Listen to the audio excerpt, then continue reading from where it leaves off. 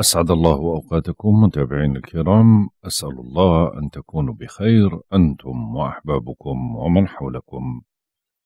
اليوم توقعاتنا طبعا في عنا لمحة أسبوعية وتوقعاتنا لليوم السبت. يعني رح نحكي توقعات السبت ولمحة عن الأسبوع القادم. القمر موجود الآن في منزلة الزبرة وهي منزلة الربح والحرية والصلاح والإصلاح. ورح يظل القمر موجود فيها من الآن ولغاية الساعة سبعة وأربعة وثلاثين دقيقة مساء من مساء يوم السبت بتوقيت غرينتش. لينتقل القمر بعديها لمنزلة الصرفة وهي منزلة للربح والضرر والخراب والإصلاح بين الشركاء والثبات. بما أنه القمر موجود في برج الأسد فمعناته إحنا خلال هذا اليوم بيكون الناس من حولنا في هاي الفترة أكثر كرما مما اعتدنا من الناحيتين المادية والعاطفية. وبيكون التركيز حول الاستمتاع والترفيه وتبادل العاطفة مع الحبيب بوسعنا التقرب من المسؤولين ومحاولة الحصول على بعض المطالب العادلة. بوسعنا اقتراض المال والاستثمار واقتناء حلية ثمينة والتحلي بالشجاعة وارتداء ملابس أنيقة بتلفت انتباه الآخرين. لإلنا بالنسبة للزوايا الفلكية طبعا في عنا زاوية آه، هي اليوم في عنا مجموعة زوايا بطيئة راح تكون ذروتها ولكن في زاوية طبعا تأثيراتها هي من يوم 24 ستة لغاية يوم 3 سبعة هاي الزاوية زاوية التربيع السلبية بين الشمس وبين المشتري اللي حكينا عنها إنها بتبدد الحظوظ في أي مسعى بنقوم فيه ومنميل للعيش دون مستوانا وبرضه منبذر أموالنا. أهم شيء بالفترة هاي تجنب القمار والمضاربات المالية الأسهم البورصة لأنه فيها أحداث كثيرة مثل اللي بتابعوا هاي الأمور عارفين شو المقصود في هذا الأمر. بعض الأشخاص ممكن يتعرضوا لبعض المشاكل مع السلطة أو العدالة بسبب أمور مالية وهذا الاتصال غالبا بيسبب مغالاة في النفقات وخسارة مالية وفشل في المشاريع. أما بالنسبة للزوايا اللي اليوم راح تتم ذروتها. طبعا أول زاوية هي عنا زاوية التربيع السلبية بين المريخ وبلوتو اللي هي هاي ذروتها اليوم إلها تأثيراتها من يوم 29 ستة وراح يستمر تأثيرها لغاية يوم 4 7 تأثير هاي الزاوية أو ذروتها الساعة 2 و13 دقيقة صباحا بتوقيت غرينتش. هاي بتولد لدينا اندفاعات مخالفة للصواب وبتدفعنا للتمرد والتصرف بعكس التيار وعكس المجتمع ومخالفة الأنظمة ومقاومة النظام السائد والقوانين القوانين وعرقلة نجاح مبادراتك وعلاقاتك. كمان هاي الزاوية بتعد دلالة على مشاحنات وعنف وحرب ودمار على نحو واسع بتتلو هذا الاتصال وبتدل كذلك على إنها هاي الفترة ممكن تشهد بعض الإضرابات للعمال إضرابات للعمال وممكن ترافقها أعمال شغب أو حوادث عنف.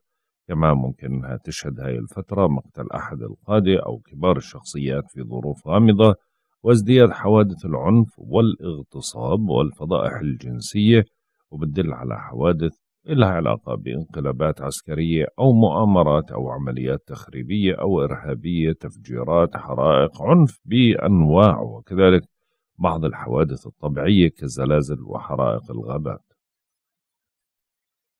أما بالنسبة للزاوية التي تليها وهي زاوية تثليث إيجابية بين عطارد وبين زحل وهي آه، طبعا آه، زاوية تأثيراتها لغاية يوم ثلاثة سبعة آه، بتعزز قدرتنا على تحليل الأمور. هاي تقريبا ذروتها الساعة عشرة وثمانية وثلاثين دقيقة صباحا بتوقيت غرينتش. أما بالنسبة للزاوية التي تليها وهي زاوية بين القمر وبين أورانوس وهي راح تكون الساعة 12 21 دقيقة بعد الظهر بتوقيت غرينتش. بتخلق لدينا شعور بالملل من أي عمل روتيني. يفضل أخذ فترة من الراحة لاستعادة نشاطنا من جديد. ممكن يفاجئنا البعض بشيء غير متوقع وممكن يصدر منا ما هو غير متوقع اتجاه البعض كذلك من ناحية سلبية طبعا. أما بالنسبة للزاوية التي تليها وهي زاوية تأثيرها بيجي بس يومين يعني اليوم وبكرة فقط. هي زاوية التربيع السلبية بين عطارد وبين نبتون اللي هي التأثيرات القوية إحنا بنحكي عنها. طبعا هي إلها تأثيرها له تقريبا خمس أيام أو أربع أيام وراح يستمر كمان أربع أو خمس أيام. ولكن ذروة هاي الزاوية هي من 2 سبعة ليوم 3 سبعة. اليوم ذروتها الساعة 8 و52 دقيقة مساء. طبعا أول شغلة بما أنه عطارد الاتصالات ونبتون الخيال فمعناته الفترة هاي كثير من الأوهام والوساوس والقلق والشك والغيرة بتزيد وبرضه الأحلام والكوابيس بتكثر والأرق وقلة النوم وبتسبب نوع من أنواع الخوف. أما من ناحية توقعات فبيكون عندنا نوع من أنواع الصعوبة في معرفة مشاعر الآخرين وبيكون صعب علينا التعامل معهم وممكن ينتج عن ذلك سوء التفاهم وعدم القدرة على علاج المشاكل العاطفية الناتجة عن ذلك. وممكن بعض الأشخاص يرتكبوا الأخطاء في أحكامهم وهذا الشيء ممكن يعرضهم لخيبات أمل.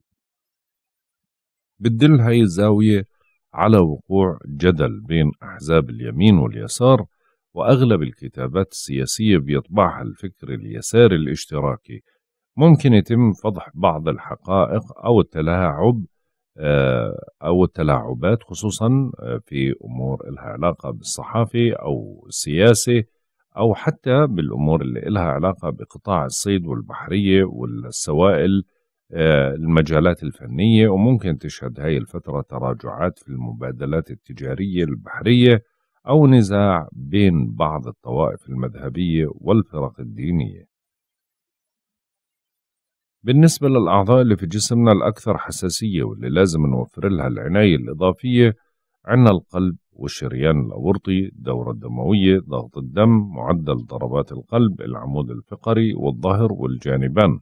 طبعا هدول الأعضاء هم نقاط ضعف ولازم أنه نعطيها اللي هو العناية الإضافية أكثر. وهي الأعضاء ما بننصح في خلال هذا اليوم إجراء عمليات جراحية لا إلها إلا إذا كان اضطراري ما في مجال للتأجيل القلب الشريان الأورطي آه، والأمور اللي إلها علاقة بالظهر والعمود الفقري. هدول دائما يعني بالفترة هاي نبعد عن أي عمليات جراحية لا إلها. أما باقي الأعضاء فيوصى بالعمليات الجراحية ما في أي مشاكل. بالنسبة لعمليات التجميل طبعا اليوم مناسب جدا لعمليات التجميل مثل الحقن والجراحة والجراحة التجميلية برضو.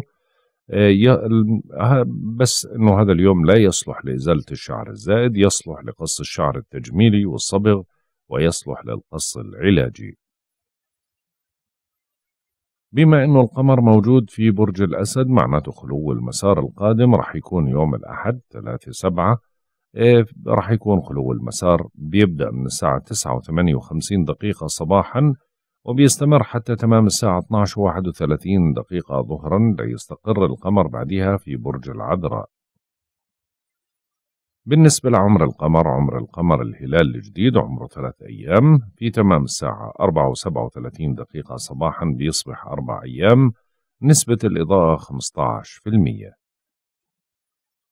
أما بالنسبة لمزاج الكواكب وطباع الكواكب لهذا اليوم الشمس في السرطان حتى يوم 22 سبعة طبعا منتحسة بنسبة 10% القمر في الأسد حتى يوم 3 سبعة سعيد بنسبة 30% الآن ولكن من لغاية ساعات الظهر بصير يتناقص لحديت ما يوصل خمسة منتحس بنسبة 25% بعدين من ساعات المساء يعني عند المغرب تقريبا ترتفع نسبة الحظوظ أو سعادته ل 10% عطارد في الجوزاء حتى يوم 5 سبعة سعيد بنسبة 30% الزهرة في الجوزاء حتى يوم 18 سبعة سعيد بنسبة 30% المريخ في الحمل حتى يوم 5 سبعة سعيد بنسبة 30% المشتري في الحمل حتى يوم 28 سبعة سعيد بنسبة 15% زحل في الدلو بيتراجع حتى يوم 23 عشرة منتحس بنسبة 40%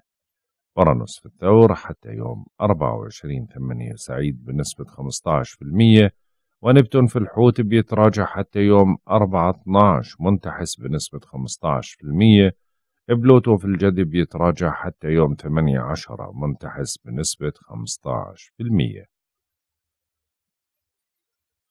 وصلنا للتوقعات اليومية. برج الحمل. بالنسبة لمواليد برج الحمل طبعا اليوم السبت ولغاية ظهر يوم الأحد القمر موجود في برج الأسد اللي هو البيت الخامس لإلكم فعشان هيك في خلال هدول اليوم ونص تقريبا تشتد رغبتكم في التقرب من أحبائكم وقضاء وقت ممتع معهم فهاي تعتبر فترة مثمرة إيجابية بتستعيد فيها إشراقتك بتسحر الكثيرين بحضورك الباهر الجو مناسب لتلبية الدعوات باستطاعتك المبادرة بأي شيء الظروف ملائمة للمغازلة والمصالحة ولتكرار المحاولات وللأمور العاطفية إجمالا وحتى الحظوظ مع الأبناء أو ممارسة هواية معينة أو حتى الأمور التجميلية. من ظهر يوم الأحد ويوم الاثنين والثلاثاء القمر بصير في العذراء يعني بيتك السادس. هنا بتركزن هاي الأيام على العمل على الصحة. فعشان هيك تجدوا أن العمل بيتراكم أكثر من المعتاد في هاي الأيام. طاقتكم بتنزل شوي صحتكم بتصير بحاجة للمتابعة أو المراقبة. شوي ممكن تصير بعض المشاحنات اللي إلها علاقة بزملائكم بالعمل. أما بالنسبة ليوم الأربعاء والخميس ولغاية صباح يوم الجمعة القمر بصير مقابلكم تماما في برج الميزان اللي هو البيت السابع. وهذا بيركز على العلاقة ما بين الشركاء شركاء المال شركاء العاطفة ما بين الأزواج. ولكن في هذا اليوم الأيام هاي اللي هي اليومين وربع طاقتكم بتكون ضعيفة فعشان هيك بدكم تنتبهوا على صحتكم تنتبهوا من العصبية والمواجهات المشاحنات ردات الفعل لأنه بتكونوا بأضعف أيام طاقتكم في هاي في هاي الأيام. أما من صباح يوم الجمعة ويوم السبت ولغاية صباح يوم الأحد القمر بصير في العقرب اللي هو البيت الثامن فهذا بيعزز الأمور اللي إلها علاقة بالأموال المشتركة الأموال اللي إلها اللي بكون بينك وبين شخص فيها شريك مثل قرض من بنك ضريبة تأمين مال الزوج مثلا أموال لإلك بدك تستردها ميراث معين حقوق لإلك بدك تطالب فيها. فرح تنشط على الأمور المالية بشكل كبير وبتبدأ طاقتك من صباح يوم الجمعة ترتفع لأنه القمر بيكون تحرك درجة من مقابلك. برج الثور. بالنسبة لمواليد برج الثور طبعا اليوم السبت ولغاية ظهر يوم الأحد القمر موجود في الأسد البيت الرابع لإلكم. فعشان هيك التركيز كله راح يكون على البيت على العائلة. فهي هاي الأمور اللي راح تأخذ القسط الأكبر من تفكيركم في خلال هدول اليومين. فعشان هيك بتجدوا تعاون من أفراد العائلة في بعض الأمور. ممكن تضطر للاهتمام بتصليحات منزلية أو ترتيبات أو انشغالات عائلية. أهم شيء أنك في هاي اليومين أنك ما تفقد الاتزان وثقة الأحبة. ممكن تقلق بشأن صحة أحد أفراد العائلة أو ربما مسألة شخصية ولكن بدك تنتبه أنه في هدول اليومين في بعض المصاريف الإضافية. من ظهر يوم الأحد ويوم الاثنين ويوم الثلاثاء القمر بصير موجود بالعذراء اللي هو البيت الخامس لإلكم فهنا الأجواء رح تنقلب تماما من ناحية عاطفية وحظوظ وأمور ممتازة جدا للترفيه تغيير الجو التجميل الطاقة عالية جدا وعندك قدرة على إنجاز كثير من الأمور والحظ بيدعمك بشكل كامل في هدول اليومين وربع تقريبا. فعشان هيك هدول الأيام بدك تستغلهم بشكل كبير. أما بالنسبة ليوم الأربعاء ويوم الخميس ولغاية صباح يوم الجمعة هنا التركيز راح يصير على العمل وعلى الصحة. فممكن تتراكم عندك بعض الأعمال ما تجد وقت لإتمامها تتهرب من بعض المسؤوليات تدخل بخلاف ما بينك وبين بعض الزملاء في العمل فبدك تنتبه من كل هاي الأمور. وإذا شعرت بشيء غير اعتيادي لازم تراجع طبيبك في هاي الأيام. ما في شيء بخوف ولكن لازم تكون منتبه لهاي الأمور. إنه تنظم ما بين واجباتك وأعمالك ما تتغيب تحاول إنك ترتب أمورك بشكل جيد. أما من صباح يوم الجمعة ويوم السبت ولغاية صباح يوم الأحد القمر بصير موجود بالعقرب مقابلك تماما وهذا الشيء بيضعف طاقتك يعني بنزل من طاقتك ولكن بيعطيك قدرة على تعزيز شراكاتكم سواء العاطفية أو شراكات العمل أو علاقاتكم مع الأزواج أو عمل مشترك. الأجواء جيدة ولكن في هاي الأيام بدك تبعد عن المشاكل قدر الإمكان لأنه عندك قابلية بأنك تثور ثورة عارمة من الغضب لأتفه الأسباب.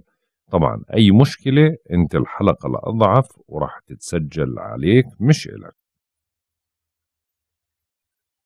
برج الجوزاء.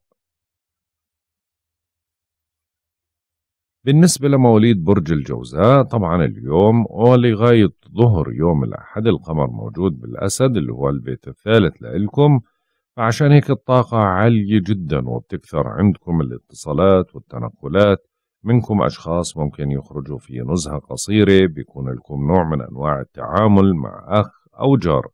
وبرضه بتتمتعوا بسرعة بديهة وخاطر عالية جدا واللي عندهم امتحانات هدول يومين مميزات بالنسبة لكم باستطاعتكم مناقشة الأمور الصعبة وطرح أفكار جديدة وممكن تحصلوا على بعض الفرص الجديدة اللي من خلالها ممكن تفسروا مشاريعكم مشاعركم وتبرروا مواقفكم. راح تنشطوا اليوم بالتنقلات والاتصالات وأمور أيضا لها علاقة بالسيارات أو بالأجهزة الإلكترونية. من ظهر يوم الأحد ويوم الاثنين ويوم الثلاثاء القمر بصير في العذراء اللي هو البيت الرابع لإلكم. فعشان هيك التركيز رح يكون على الأمور اللي إلها علاقة بالبيت والعائلة مسائل عائلية اجتماعات لقاءات أو ترتيب وضع عائلي معين. الأجواء جيدة وبتدعمكم بشكل قوي ولكن ممكن يظهر فيها بعض المصاريف اللي إلها علاقة بتصليحات أو ترميمات أو حتى بعض الأمور اللي إلها علاقة إما استئجار بيت أو شراء بيت أو حتى مناسبات زي ما ذكرنا. بالنسبة ليوم الأربعاء ويوم الخميس لغاية صباح يوم الجمعة القمر بصير في الميزان اللي هو البيت الخامس لإلكم. فعشان هيك هون بتنشطوا بالحظوظ بشكل كبير. الحظ حليفكم بيدعمكم. العاطفة قوية تهتموا بشخصيتكم بجمالكم بلباسكم بالفترة هاي. الفترة هاي برضو جيدة للتقرب من الأحبة والتواصل معهم تجد أن الحظوظ عالية والطاقة ممتازة جدا ولكن من صباح يوم الجمعة ويوم السبت ولغاية صباح يوم الأحد القمر بصير في العقرب اللي هو البيت السادس لإلكم فهنا بتنزل طاقتكم درجة بسيطة وبصير الاهتمام العلاقة بالعمل والصحة أكثر فعشان هيك حاولوا تنجزوا أعمالكم لأنه ممكن إنها تتراكم ما تقدروا تنجزوها بالكامل. وبالمقابل بدكم تراقبوا الوضع الصحي. ممكن بعضكم يكون عنده مراجعات طبية أو بعض الفحوصات أو حتى أنه يشعر بتوعك صحي يتطلب منه الانتباه لنفسه. برج السرطان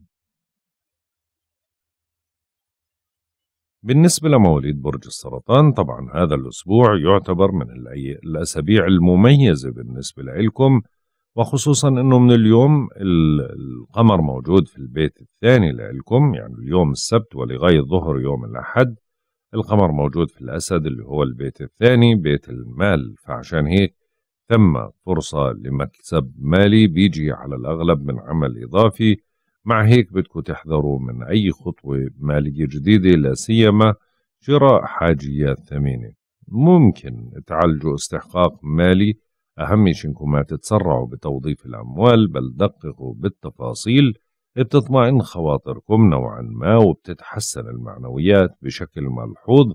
أهم إشي إنكو تستغلوا الفرص.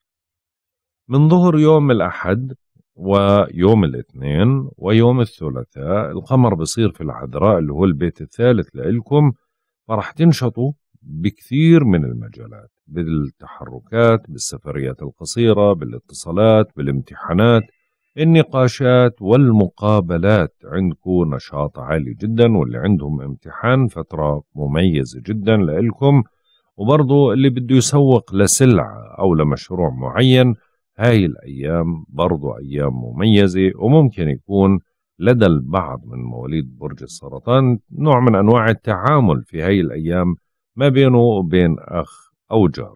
أما بالنسبة ليوم الأربعاء ويوم الخميس ولغاية صباح يوم الجمعة القمر بصير في الميزان فهنا الاهتمام اللي هو للبيت الرابع اهتمام بصير على مستوى البيت والعائلة التقارب العائلي مناسبة اجتماعية عائلية تصليحات ترميمات اللي بده يبيع عقار أو بده يستأجر بيت أو يشتري بيت فهاي الأيام مميزة جدا لكل الأمور اللي بتتعلق بالبيت والعائلة. من صباح يوم الجمعة ويوم السبت ولغاية صباح يوم الأحد القمر موجود في البيت الخامس. البيت الخامس بيت العاطفة والحب والجمال والتجميل واللباس والهندام والأبناء وحتى المغامرات العاطفية والترفيه. فالأجواء جيدة وداعمة لكم بقوة فعشان هيك هاي الأيام بدكم تستغلوها بشكل قوي لأنه الحظوظ بتدعمكم والعاطفة جياشة. رغبتكم للتقرب من الأحبة بتكون في أوجها فلازم تستغلوا هاي الحظوظ لمصالحة لتقارب لعاطفة لأمور يعني كان صعب إنك تحققها بالفترة الماضية. برج الأسد. بالنسبة لمواليد برج الأسد طبعا بداية أسبوع شوي راح تكون لصالحكم. ابتداء من هذا الأسبوع يعني يوم السبت وظهر لغاية ظهر يوم الأحد القمر موجود عندكم. فراح تبدأوا فترة أفضل من سابقتها بتعدلكم نشاطكم المفقود بوسعكم المبادرة بخطوة جديدة وبتقدروا تدعموا من مركزكم الاجتماعي. هاي الأيام بتحمل انفراج وتقدم ملموس بعد مراوحة وركود. عليكم أنكم تتحلوا بالحكمة وواقعية للأمور وبتشتد عزيمتكم ترتفع المعنويات بتستعيد سيطرتك وبتحقق نجاح باهر. وطبعا معنى وجود القمر في البيت الأول يعني لفت انتباه الجنس الآخر لإلك وبرضه بالمقابل تعطيك طاقة عاطفية قوية. من ظهر يوم الأحد ويوم الاثنين والثلاثاء القمر بصير في العذراء اللي هو البيت الثاني فهنا بتتركز الأمور كلها على الأمور المالية مكاسب مالية مستردات هبات دعم هدايا أي شيء له علاقة بالوضع المالي. أغلب الأموال اللي بتيجي عادة من عمل إضافي أو الأمور اللي ذكرناها. ولكن في هاي الأيام بدك تقلل من مصاريفك لأنه عليك التزامات كثيرة ودفعات وترتيب فواتير فبتتركز كلها على الأمور المالية. أما بالنسبة ليوم الأربعاء ويوم الخميس ولغاية صباح يوم الجمعة تعتبر هاي الأيام من أنشط الأيام وأكثرها طاقة بالنسبة لك لأنه القمر بصير في البيت الثالث اللي هو برج الميزان وهذا بيشجعك على التنقلات والاتصالات الحوارات الامتحانات. سرعة البديهة عالية جدا وقدرة على الإقناع ممتازة ولكن بدك تنتبه من عصبيتك أو الانتقادات أو بعض الكلمات اللي ممكن ما تنفهم من الطرف الآخر. فهاي أيام ممتازة جدا لازم تستغلها. من صباح يوم الجمعة ويوم السبت وصباح يوم الأحد القمر بصير في البيت الرابع. فهنا بنحكي إنه نهاية الأسبوع بتكون لها علاقة بالبيت والعائلة والمسائل العائلية تقارب ترتيب. وضع معين ترتيب لمناسبة مثلا أو عندك بعض الالتزامات العائلية. في منك رح يهتم بأمور لها علاقة بصيانة أو تصليحات أو ترميمات أو ممكن استئجار بيت أو عقار معين بده يبيعه أو حتى بعض الأمور المنزلية. برج العذراء بالنسبة لمواليد برج العذراء طبعا اليوم السبت ولغاية ظهر يوم الأحد القمر ما زال موجود في الأسد اللي هو بيتك 12 بيت متاعبك فعشان هيك بتجدوا إنه التعب بضل مسيطر عليكم. حاولوا تنظيم أموركم والمحافظة على صبركم المعهود أثناء تصريف الأمور والتعامل مع الغير في اليومين هدول. ممكن تتدمر من تأخير أو من سوء تفاهم أو التباس. فعشان هيك بدك تحاذر من البدء بأي شيء جديد وما تسمح للقلق إنه يسيطر عليك ويمنعك من العمل والنشاط. نظم أمورك وضاعف مجهودك. من ظهر يوم الأحد ويوم الاثنين ويوم الثلاثاء القمر بكون موجود عندكم في العذراء. بيتكم الأول وهذا بمنحكم طاقة ممتازة جدا بيعوض الأيام الماضية مشحونين بطاقة عالية جدا. ثقتكم بالنفس بترجع عندكم رغبة لإنجاز كثير من الأمور. عاطفيا تشتد العاطفة عندك بشكل أكبر يعني الأجواء بتصير ممتازة جدا بالنسبة لك. يوم الأربعاء ويوم الخميس وصباح لغاية صباح يوم الجمعة القمر بصير في الميزان البيت الثاني وهنا الاهتمام كله بصير على الأمور المالية. فممكن تحصل بعض المكاسب المالية أو ترتب وضع مالي معين. منكم ممكن يحصل على بعض الأموال من عمل إضافي أو مستردات هبات نوع من أنواع الدعم أو أو أموال له بيحصلها الأهم شيء إنك تقلل من مصاريفك في هاي الفترة. من صباح يوم الجمعة ويوم السبت ولغاية صباح يوم الأحد القمر بصير موجود في العقرب. فهنا نهاية أسبوع نشطة جدا والحظوظ بتدعمك بشكل كبير. ممكن تعزز علاقتك مع الإخوة مع الجيران وبرضه بالفترة هاي ممتازة للسفر والاتصالات والحركة والنشاط والتسويق واللقاءات والاجتماعات والمناقشات. طاقتك عالية جدا في هاي الأيام. في كل شيء ذكرنا فلازم تستغلها برضو لأنه فيها كثير من الفرص لصالحك. برج الميزان.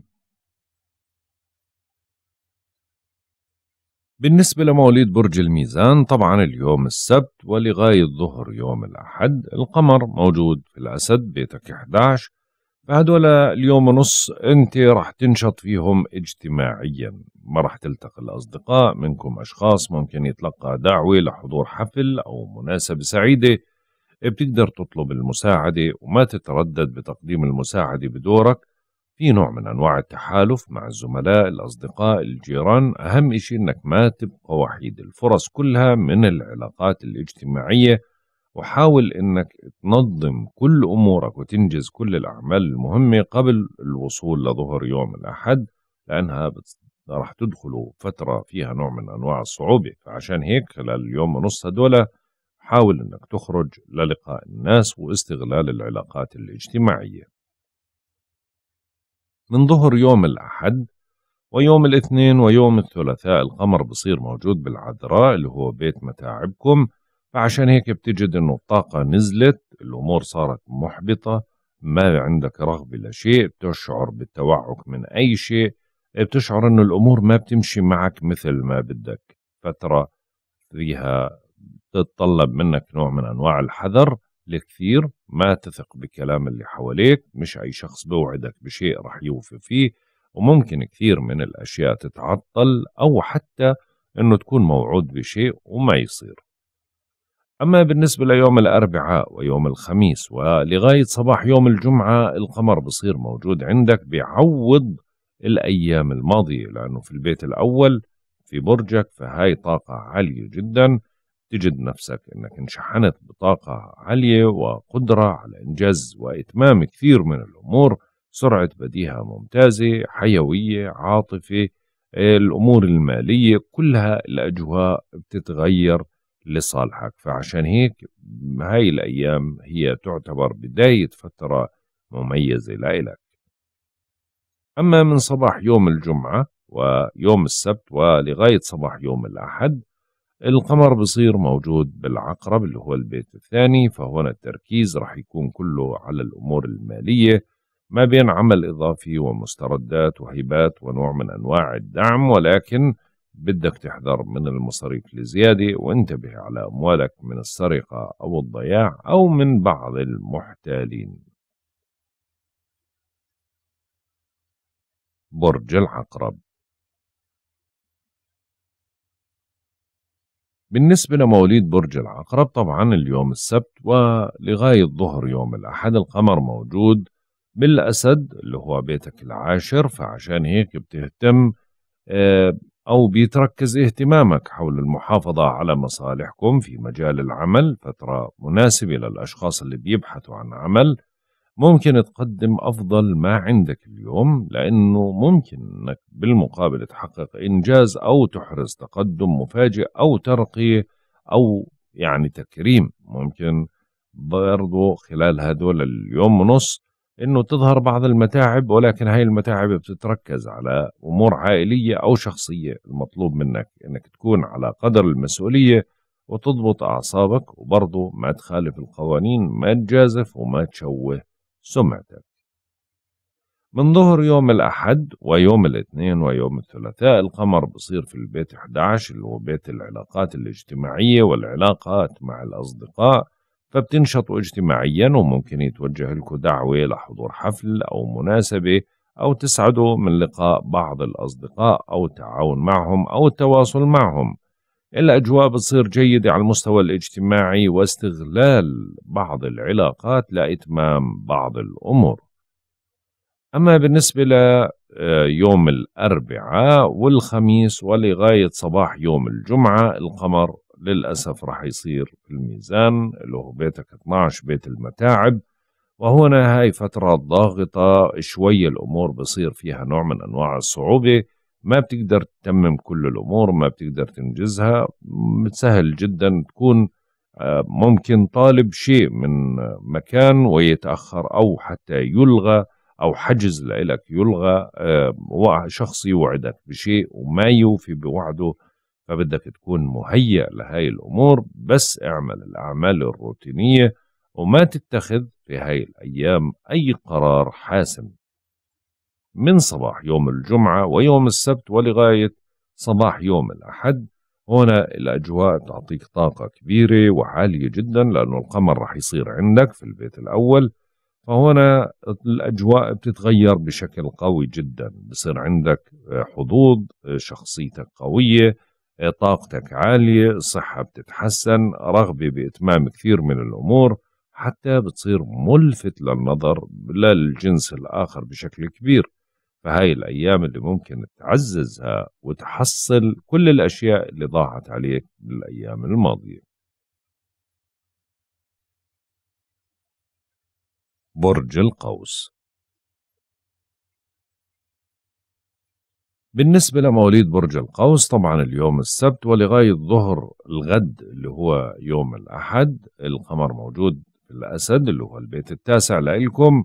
فعشان هيك هاي أيام مميزة جدا بتنشطوا فيها بالسفر والاتصالات البعيدة وممكن تشاركوا في حملة أو ورشة عمل أو برضو بتشتد رغبتكم في التقرب من أحبائكم وتعزيز العلاقة معهم. ممكن تلتقي بوجوه وآراء وثقافات مختلفة خلال هدول اليوم ونص تقريبا أو يوم وربع أجواء لطيفة بتحيط بحياتك وهذا شيء بيدعمك بشكل قوي جدا فبتقدر إنك تعزز العلاقات الاجتماعية والعائلية. فالفترة هاي مثمرة على جميع الأصعدة فلازم تستغل هدول اليومين بكل قوتك حتى على مستوى الامتحانات. فهاي فترة ممتازة من ظهر يوم الأحد ويوم الاثنين ويوم الثلاثاء القمر بصير موجود بالعذراء اللي هو البيت العاشر بيت السمعة. فهنا النشاط كله بصير على العمل وعلاقتك بالمسؤولين. أهم شيء أنك ما تتغيب عن عملك في هاي الأيام. ما تجازف وما تغامر وما تخالف القوانين وما تشوه سمعتك. الأيام هاي مناسبة للي بده يقدم على شغل يقدم سي في مقابلة استغلال علاقات اجتماعية لدعمه في شيء معين. فهي فترة ممتازة ممكن يكرم فيها الشخص أو يحصل على هدية أو دعم أو ترقية. أما بالنسبة ليوم الأربعاء ويوم الخميس ولغاية صباح يوم الجمعة القمر بصير في الميزان اللي هو بيتك 11 اللي بركز على العلاقات الاجتماعية والعائلية. فممكن يكون في مناسبة معينة أو يتوجه لك دعوة لحضور حفل أو حتى لقاء بعض الأصدقاء. يعني بتنشط اجتماعيا وما بيزبط في هاي الأيام إلا بالخروج والاختلاط بالمجتمع واستغلال المجتمع أو من خلال المجتمع ممكن تحصل بعض المكاسب.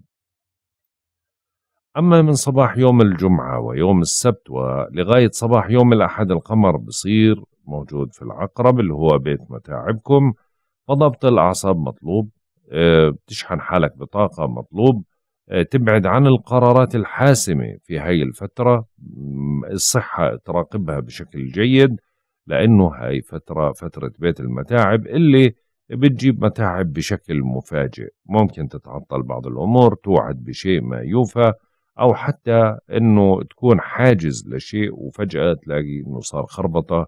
والتغى الحجز. فعشان هيك في هاي الأيام بدك تكون حذر جدا.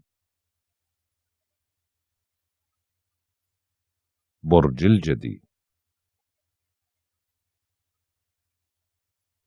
بالنسبة لمواليد برج الجدي طبعا اليوم السبت ولغاية ظهر الغد اللي هو يوم الأحد القمر موجود في الأسد اللي هو البيت الثامن لكم بيت الأموال المشتركة. فخلال هذا اليوم ونص بتعيدوا تنظيم أموركم المالية المشتركة من جهة ثم فرصة لمكسب بيجي من شراكة أو تعويض ولكن من جهة أخرى يجب الحذر من أي شراكة مالية جديدة. ما بيناسبك إطالة الخلاف والزعل بل سارع لتقريب وجهات النظر باستطاعتك إدارة المفاوضات بشكل جيد ولبق وممكن تناقش موضوع بيتعلق بإرث أو موضوع مالي أو أموال لإلك بتحاول إنك تستردها في هاي الأيام. من ظهر يوم الأحد ويوم الاثنين ويوم الثلاثاء القمر بصير في العذراء اللي هو البيت التاسع وهنا الطاقة بتصير عالية جدا لأمور لها علاقة بالسفر البعيد العلاقة مع الأجانب أشخاص خارج البلاد أشخاص خارج البلاد بيجوا على عندك على البلد.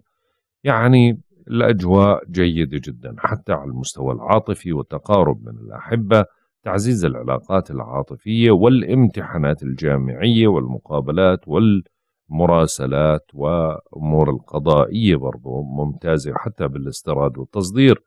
فهاي أيام بدكم تستغلوها بشكل قوي لأنه بعديها يوم الأربعاء والخميس ولغاية صباح يوم الجمعة القمر بصير في الميزان.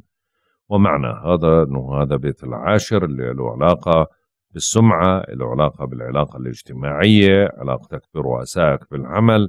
فهاي الأيام جيدة للي بده يقدم على وظيفة مقابلة عمل جديد أو آه، أمور لترقية ترفيعات مطالبة بحقوق من رؤسائه ولكن ضبط الأعصاب مطلوب بدون عصبية وبدون حدية.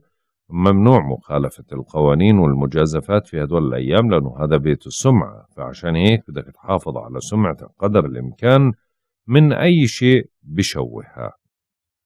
أما من صباح يوم الجمعة ويوم السبت ولغاية صباح يوم الأحد القمر بصير موجود بالعقرب. هنا الأجواء بتركز على العلاقات الاجتماعية فممكن يتوجه لك دعوة لحضور حفل أو مناسبة سعيدة أو تسعد بلقاء الأصدقاء. الأجواء راح تدعمك بشكل جيد في هاي الأيام لأنه العلاقات الاجتماعية هي اللي ممكن تنصفك أو تساعدك أو تستغل بعض المعارف لإتمام بعض الأمور. يعني أجواء اجتماعية لازم تنشط فيها لاستغلالها. برج الدلو بالنسبة لمواليد برج الدلو طبعا القمر اليوم السبت ولغاية ظهر الغد اللي هو الأحد القمر موجود بالأسد اللي هو بيتكم السابع يعني القمر مقابلك تماما. فهنا بينقسم على شقين الشق الأول الإيجابي إنكم ترغبوا في تدعيم شراكاتكم وهي فترة مناسبة للقيام بعمل بتطلب تعاون من طرف ثاني. ولكن لأن طاقتكم ضعيفة والحظوظ ما بتدعمكم بشكل كبير فلا تنفعلوا وحاولوا الإضاءة على الإيجابيات. ما بينفعكم التوتر ولا الجدال عالجوا التطورات بموضوعية وأعصاب باردة لا تتسرعوا باتخاذ القرارات. من ظهر يوم الأحد ويوم الاثنين ويوم الثلاثاء القمر بصير موجود بالعذراء اللي هو البيت الثامن لكم ونتحرك القمر يعني درجة. من مقابلكم فبدعمكم على الأمور المالية تعزيز العلاقات المالية.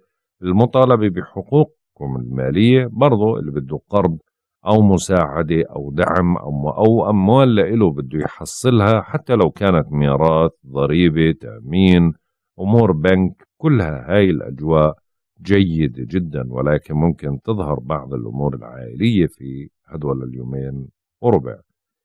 أما بالنسبة ليوم الأربعاء ويوم الخميس ولغاية صباح يوم الجمعة هنا القمر بصير في الميزان اللي هو البيت التاسع لإلكم فهنا طاقة عالية جدا ونشاط كبير وهذا الشيء بساعدكم بالامتحانات الجامعية بالسفر لبعيد تقديم طلبات هجرة أوراق ومعاملات قانونية أمور لها علاقة بالقضاء. المناقشة رسالة معينة مثلا فالأجواء بتدعمك بشكل كبير على كل ما ذكرناه فعشان هيك بتنشطوا فيها بشكل كبير وممكن تستغلوها إلا أنها هاي الأيام اللي ممكن تحصل فيها بعض المكاسب. من صباح يوم الجمعة ويوم السبت ولغاية صباح يوم الأحد القمر بصير في العقرب اللي هو البيت العاشر لإلكم. فبتتركز علاقاتكم كلها على الأمور الاجتماعية. نشاط اجتماعي علاقاتكم بالمسؤولين طبعا الاجتماعي المقصود فيه اللي هي علية القوم أو المعارف اللي ممكن يدعموك أو يكونوا واسطة لك في شيء معين أو علاقاتكم مع المسؤولين. هنا بتقدر تستغلها لإتمام بعض الأعمال عشان تلفت النظر تحصل تكريم أو ترفيع في هاي الأيام. وما بينفع في هاي الأيام مخالفة القوانين ولا المجازفة ولا المغامرة ولا تشويه السمعة لأنه هذا يعتبر بحد ذاته أنت في فترة بيت السمعة بدك تحافظ على سمعتك مش تشوهها. برج الحوت. بالنسبة لمواليد برج الحوت طبعا بداية أسبوع شوي بلش الضغط فيها مش زي الأسبوع الماضي يعني شوي كان في نشاط الأسبوع هذا شوي الأمور يعني فيها نوع من أنواع التقلبات. بداية الأسبوع اللي هو اليوم السبت ويوم لغاية ظهر يوم الأحد القمر موجود بالأسد اللي هو بيتك السادس اللي هنا بيركز على العمل وبيركز على الصحة. فعشان هيك ببدأ من اليوم العمل يتراكم عندكم تدريجيا لغاية ظهر الغد. زي ما حكينا انجزوا فقط ما بوسعكم من عمل دون المبالغة في ذلك. انتبهوا لغذائكم وراحتكم. لا تسمحوا لواجباتكم بالتزامن ولا بالتراكم. بدك تكون أكثر تنظيما تحسن إدارة الوقت. اتجنب إثارة العدوات وإهمال وضعك الصحي وخذ قسط من الراحة واهدأ وكون عند حسن الظن. من ظهر يوم الأحد ويوم الاثنين ويوم الثلاثاء القمر بصير مقابلك تماما في العذراء فهنا ممكن تعزز شراكتك علاقتك بالشركاء بالزوج بشريك المال بالعاطفة. آه، الأعمال المشتركة ممكن تتممها ولكن بدك تحذر أنه طاقتك ضعيفة. ما بينفع العصبية ولا اتخاذ القرارات ولا المشاكل ولا الحدية بالطباع رغم أنه في أجواء عاطفية إلا أنه شوي عصبيتك ممكن تظهر على الساحة وهنا بنقول لك دير بالك لأنه أنت الحلقة الأضعف وأنت اللي راح تصير ملم.